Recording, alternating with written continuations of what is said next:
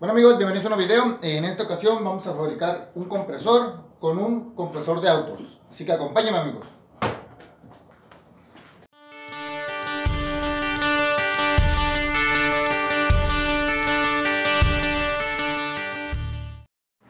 Bueno amigos, aquí estamos con el compresor de automóvil. Primero que nada les voy a explicar cómo es que funcionan eh, estos compresores. Eh, se, se pueden dar cuenta, aquí tenemos la marca. Este compresor es de un automóvil Toyota. Primero que nada, aquí tenemos el tapón del aceite. Igual llevan aceite eh, hidráulico que es para los compresores, aunque hay un aceite especial para esto.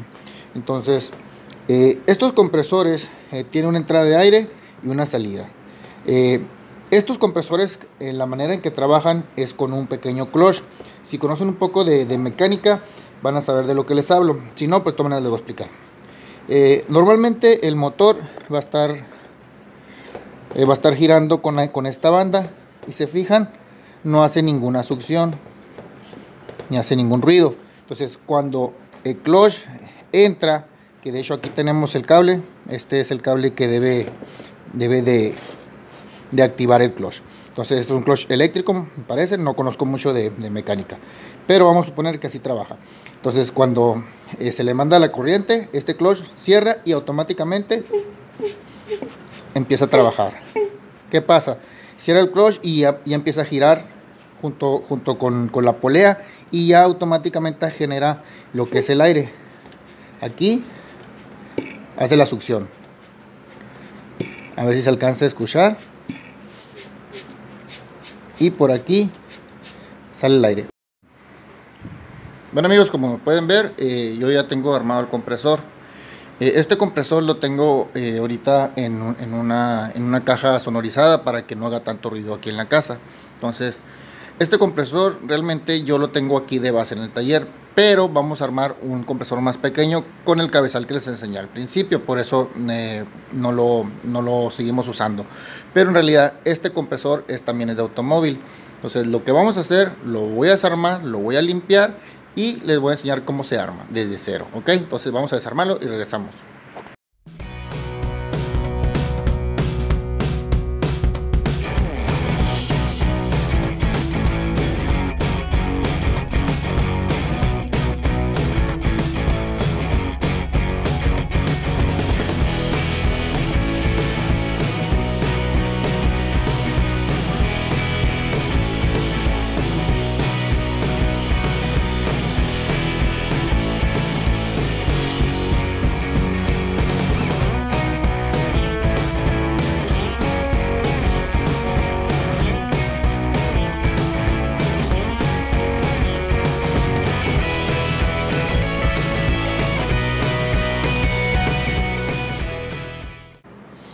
Bueno amigos, aquí tenemos eh, el, compresor que tiene este tanque.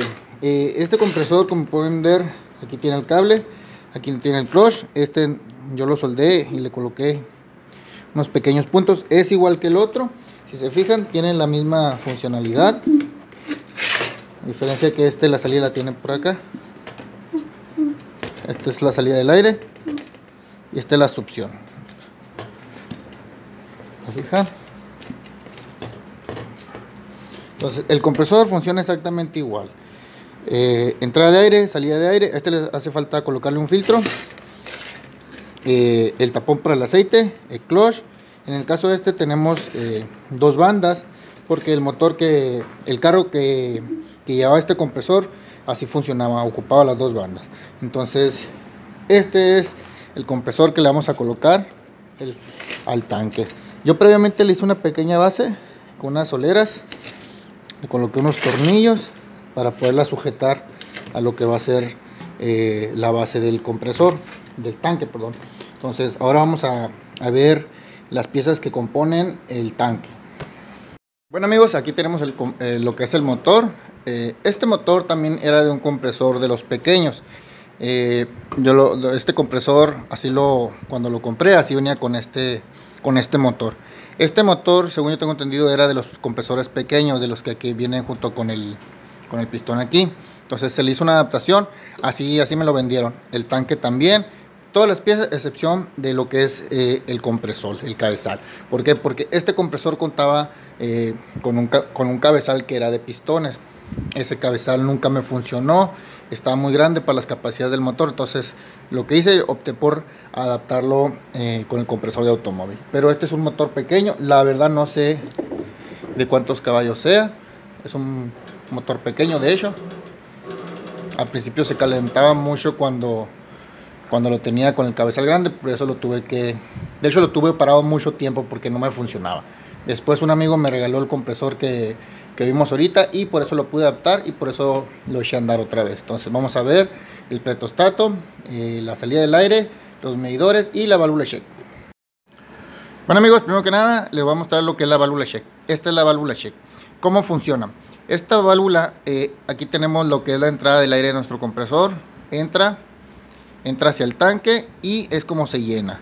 Una vez que se llena a las libras adecuadas del que marca el pretostato, corta. Entonces, esta válvula nada más permite que entre el aire, pero que no salga. Es una válvula check como la que se utilizan en el agua, es muy común. Entonces, de hecho, esta válvula check yo tengo que reemplazarla, porque se fijan, aquí tiene un pequeño tornillo. Y esta salida es una salida de, de presión, que es para este tipo de pretostatos. Vamos a enfocarlo. Esa iría aquí. Este pretostato es porque vamos a armar otro compresor desde cero, pero ahorita les voy a decir eh, por qué. Entonces, este debería ir a la entrada esta, cosa que con el pretostato este no es así, por eso no lo coloqué, simplemente la cancelé. Bueno amigos, aquí tenemos el interior del pretostato, eh, yo lo desarmé. para conectarlo es muy fácil, eh, todos vienen con su, con su instructivo de cómo colocarlo, cómo conectarlo, pero es muy fácil. Eh, por lo menos este, la corriente que viene en la clavija, viene en estas dos partes, en la parte de arriba y en la parte de abajo manda para el compresor. Este es un pequeño botón de arranque. Aquí tenemos los ajustes. Entonces, este es el pretostato. Vamos a ver ahora las válvulas. Bueno amigos, aquí ya tenemos lo que es la conexión. Eh, esta conexión o esta salida es la salida del aire. Ya es donde el, compresor trabaja y nos manda el aire comprimido hacia nuestra válvula. Este es un regulador. Este de hecho eh, no es para los dos medidores. Estos dos medidores eh, se supone que uno debe de marcarte la presión de salida y el otro la cantidad de aire que tiene el tanque. En este caso para eso son los dos. Aquí es donde se le coloca otro que es donde va a marcar eh, la salida de aire. Porque aquí entra el aire y se va hacia allá, hacia acá, hacia los dos lados y te marca la presión con la que cuenta el tanque. Entonces aquí de este punto hacia acá ya tú puedes regular, levantas la perilla, según lo abras o lo cierres, vas a regular la cantidad de aire que va a salir. Eh, en el caso mío, aquí me hace falta una conexión porque acá tengo que colocar un tapón y aquí tenemos que colocar una, una conexión, pero no lo, no lo tengo así, porque como les digo, este compresor está fijo en el taller, entonces este compresor realmente no se le no se vuelve a ajustar. Lo, lo tengo instalado una, de tal manera que esté trabajando siempre a una cierta cantidad de libras y siempre tiene la misma salida. Ya fuera yo con las pistolas, eh, checo la presión y ahí es donde yo lo regulo.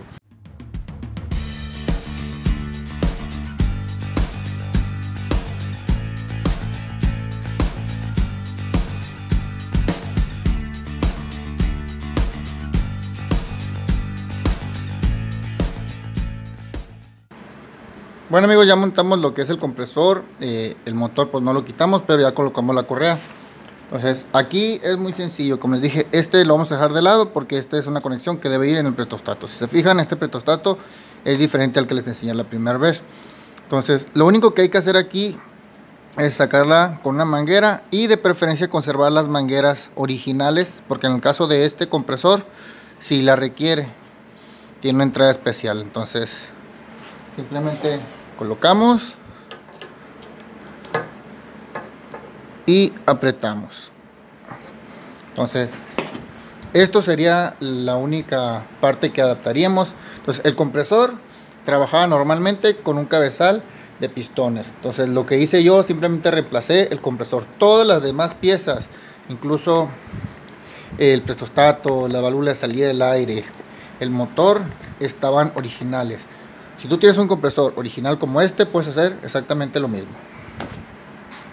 Bueno amigos, si se fijan, ahorita se me pasó a decirles, pero aquí tenemos desconectado el compresor Y eh, de hecho, desde que lo empezamos a desarmar tenía aire el compresor.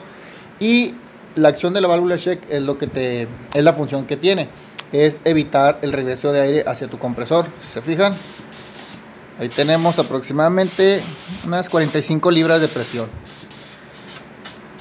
entonces aquí estoy sacando el aire con una pistola. Entonces esa es la función de la válvula check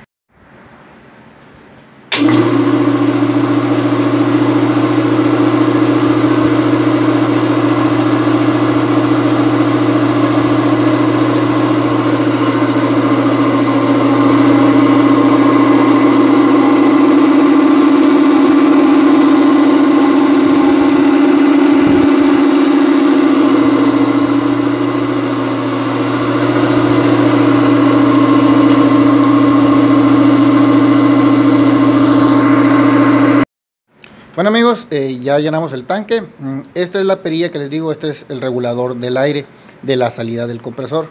Ahorita, por ejemplo, si yo le doy hacia la derecha, como si lo estuviera cerrando, me va a abrir el aire. Entonces, ahí está marcado 90 a 100 libras.